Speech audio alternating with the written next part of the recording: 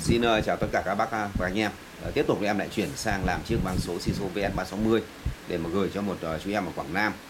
Và chú em này thì có một cái nhu cầu là vừa sử dụng trong nhà lại vừa sử dụng ở ngoài trời. Thì các bác thấy rằng uh, em cũng bán vang số mấy năm nay và ít khi em mở ruột ra những chiếc vang số ra để mà giới thiệu với các anh em về cái hơn cái kém của những cái tụ cái ram cái chip cái con vi xử lý tức là cái con DB ở trên ờ, những chiếc bàn số. Ờ, kể cả là X3, X5 là những con mà 21375 hay là X12 là 21489 hay là T3 là 21375 và VS360 là 21489 hay là rất nhiều loại vang số khác nhau. Thì em chẳng mấy khi là em dở ruột gan giới thiệu các anh em là cái giải mã nọ giải mã kia hay là con ờ, tụ nọ tụ kia. Bởi vì ngay từ cái thời mà em còn kinh doanh thì em cũng đã va chạm với những cái âm ly xịn và âm ly không xịn. Đầu tiên là âm ly không xịn. Đầu tiên là âm ly xịn và sau đó là những chiếc âm ly xịn.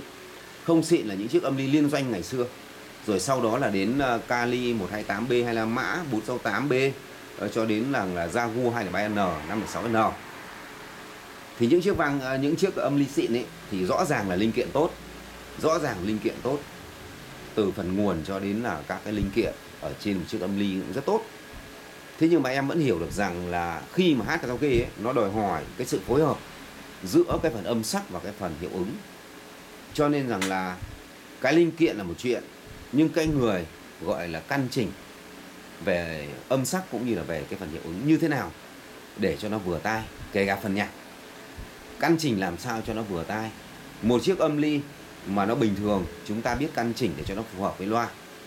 Có lẽ còn hay hơn một chiếc âm ly xịn mà căn chỉnh không tốt không phù hợp với loa thế cho nên ngay từ cái thời âm ly ấy, thì em đã xác định được cái mấu chốt là như thế rồi. Cho đến bây giờ là vang số cũng thế thôi. Cho đến bây giờ là vang số. Cho nên em không phải khoe về cái uh, giải mã hay là cái con DB hay là về cái tụ cái nguồn. Bởi vì trên vang số các bác thấy được như thế này. Uh, em thì cũng đã chia sẻ với các anh em về cái vấn đề mà làm cái quay dư ở trên vang số rồi và tuyệt đối không tăng. Có lẽ rằng các anh em là người đã mua vang số của em hay là gửi vang số căn chỉnh ấy thì toàn bộ tất cả những chiếc vang số kể cả hàng bãi hay là hàng mới bình dân đến hàng cao cấp thì các bác sẽ nhìn được cái giải quay dư em làm ấy là không bao giờ tăng tuyệt đối không tăng. Và gần đây thì em lại à, phát triển thêm uh, nghiên cứu thêm để làm sao cho cái chất âm của cái giải trung trầm nó có cái độ mềm mại hơn nó có độ mềm mại hơn. Thế cho nên rằng là có nghiên cứu thêm để mà cho cái chất âm của cái giải trung trần nó đẹp hơn. Nó đẹp hơn. Bởi vì em đã chia sẻ với anh em rồi là cái vấn đề âm sắc khi mà chúng ta nghe nhạc cái hát ấy cũng như là về thiết bị cũng như là về thiết bị. Đây các bác thấy rằng là về thiết bị nhá về thiết bị thì nó cũng hay bị lỗi ở ở, ở cái giải ờ, trầm và trung trầm tức là không tốt không tốt ở cái giải trầm và giải trung trầm. Và để cho chất âm nó sáng ấy, khi chúng ta mở lớn, và nó có sự là cân đối, hài hòa về phần âm sắc khi chúng ta mở lớn ấy, thì chúng ta phải giảm âm trầm đi rất nhiều. Giảm trầm và trung trầm. Đấy là một cái mà theo kinh nghiệm của em trong những cái năm tháng kinh doanh karaoke, cũng như bây giờ là những cái cái vấn đề mà hàng ngày ngồi căn chỉnh con số cho các bác và anh em thì em cũng đã chia sẻ rằng là về vấn đề về âm sắc ấy thì chúng ta hay bị à, là một cái nhược điểm đi. Là một cái nhược điểm chứ nói lỗi thì không phải. Nhưng mà là một cái nhược điểm ở trên thiết bị cũng như là về cái giọng nói giọng hát con người. Cho nên các bác thấy rằng là khi em căn chỉnh về phần mic cũng như phần music này này là phải giảm trầm và trung trầm. Giảm trầm và trung trầm. Đấy là một cái mà nó mang chất là kinh nghiệm. Thế còn về cái phần equalizer phần equalizer ở trong phần effect ấy thì à, các bác thấy rằng là từ xưa nay em giảm em giảm. Và cái điểm này này gần đây thì phát triển thêm một cái điểm mà nó liên quan đến âm sắc của phần trung trầm là trên 300 trên 300 trên 300 thì khi chúng ta xử lý ở cái phần này ấy thì nó làm cho âm trầm nó mềm hơn nó tròn gọn và nó có độ mềm mại hơn. Ngoài ra nó còn làm sáng sáng âm ở cái giải cao nữa. Cho nên rằng là những cái vấn đề này ấy thì nó sẽ cải thiện được những cái chip cải thiện những những cái phần linh kiện như là cái tụ hay là cái trở hay là cái nguồn hay là là cái đời của cái con DB bởi vì nói đúng ra ấy, khi mà chúng ta căn chỉnh không tốt ấy, thì như vậy là vàng có đắt tiền cũng không hay chip có đời cao nó không hay chip có đời cao nó không hay. Bởi vì trên vang số chỉ cần thay đổi một chút thôi chứ nó đã khác rồi. Hoặc là nói cái tổng đi bây giờ em mới gọi một cái tổng đi chỉ cần thay đổi cái tổng này nó không phù hợp nhé. Để các bác thấy rằng là cái tổng này, này. Bây giờ thay đổi về cái tổng này. Đây là chế độ đầu tiên này. Các bác sẽ thấy được rằng là bây giờ là cái tỷ lệ cho gì vợt ở trên cái dòng VF360 đang là như thế này. Cái tổng là 84 cái gì vợt 32 và cái e cho là 79 nhá. Bây giờ chỉ cần thay đổi về cái tổng thôi. Giả dụ bây giờ mới 79 này bây giờ thử này. Tiện căn chỉnh chiếc vàng X6 thì em cũng thử luôn cái mic BBS này nhé một. Một một một một phải cho mic to lên tí này. Cho mic mic to lên tí này. Để 30 à, đi. Mic để 30 nhé một hai ba bốn năm sáu bảy tám chín mười. Một bảy mười hai ba năm một hai một hai và bây giờ chỉ cần thay đổi về cái tổng này thôi. Nếu đang 79 nhá. Bây giờ lên 85 đi một một hai ba bốn năm sáu. Một hai ba bốn năm sáu. Rõ ràng chất âm nó khác rồi. Nó không sạch sẽ nữa rồi. Bây giờ 79 này. Một một hai ba bốn năm sáu. Một một hai ba bốn năm sáu. Hoặc là bây giờ cái gì vọt đi. Đây mới nói cái tổng nhé chứ còn trên băng số rất nhiều phần nhiều mục. Lên 36 của gì vọt đi. Một một một một một một một hai ba bốn năm sáu.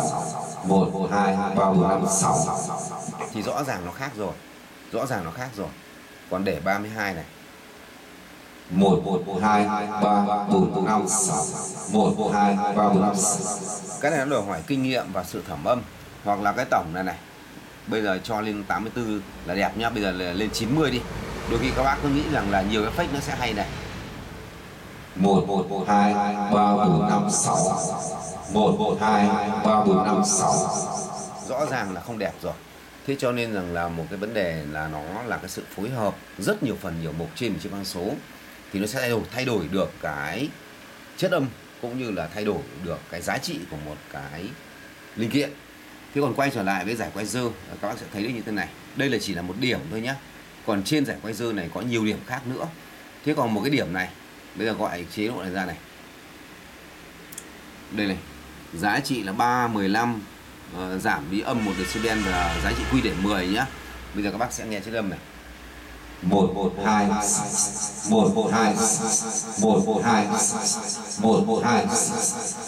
Thế bây giờ mới thử là tăng lên. À tức là là là không giảm. Không giảm nhá để không không nhá. Các bác sẽ thấy được là không không này. Bây giờ cái giá trị 315 này là không không này 00 này. 11269 1126 1126 1126 1126 Thế bây giờ mới giảm đi uh, hoặc là tăng nhá, nhiều khi các bác lại là em thấy các bác tăng này, tăng này. 1126 1126 Cho nên khi hát đấy là chúng ta đòi hỏi độ nhuyễn, cho nên sẽ tập trung vào làm để cho nó nhuyễn cái phần âm sắc không phải effect nhiều mà dễ hát đâu. Không phải effect nhiều mà dễ hát. Mà chúng ta làm nhuyễn phần âm sắc. Bây giờ giảm nữa này. Giảm nữa nhá. Giảm đi 2 decibel đi. Âm 2 decibel này. Đây giảm đi âm 2 decibel một một hai sáu chín một một hai sáu. Một một hai sáu. Rõ ràng không đẹp rồi. Còn kể cả ở trong phần phần e cho nhé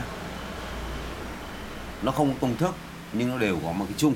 Đây trong phần e cho này, đây hiệu e cho nhá. Đây các bác thấy này đây cũng là 315 giảm đi âm 1 nhá, sẽ chỉ quy 10 nhá. một một, hai, một một hai. Còn bây giờ chúng ta lại không giảm này. Để không không này. Một một, hai, sáu, chín. Một một, hai, sáu, chín. Đấy là một chế độ thôi, thơ thử để cho chú em này chú có thể là nghe được này, chế độ số 2 này cũng là cái giá trị như này.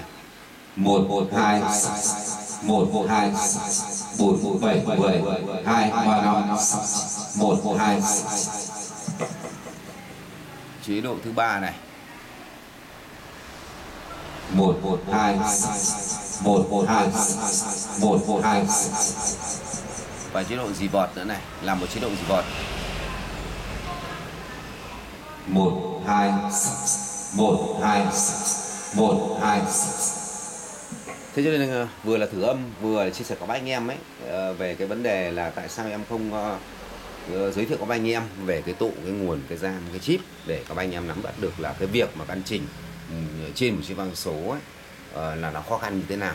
Cho nên rằng là em vẫn chia sẻ các bác anh em ấy, là bản thân các bác anh em không căn chỉnh được hay đâu mày phải dựa trên nền tảng khá hay của cái người mà cài đặt cho các bác anh em thôi chứ còn bảo các anh em bây giờ như vậy là tự mình khám phá những cái điểm này ờ, rồi là thử âm ờ, rồi thẩm âm làm sao để đưa ra một cái giá trị đẹp nhất thì cái này rất khó. Thì đây là em chia sẻ với các anh em khi mà mua vàng số.